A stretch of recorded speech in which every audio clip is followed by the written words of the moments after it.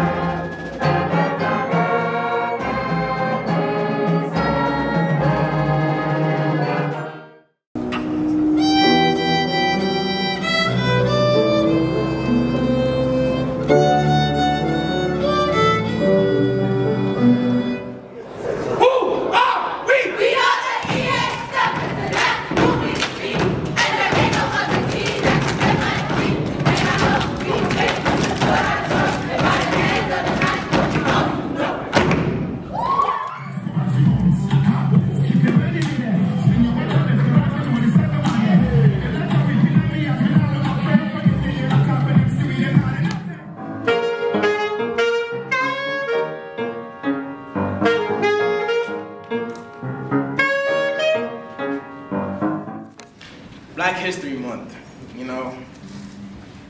Believe that we have relevance.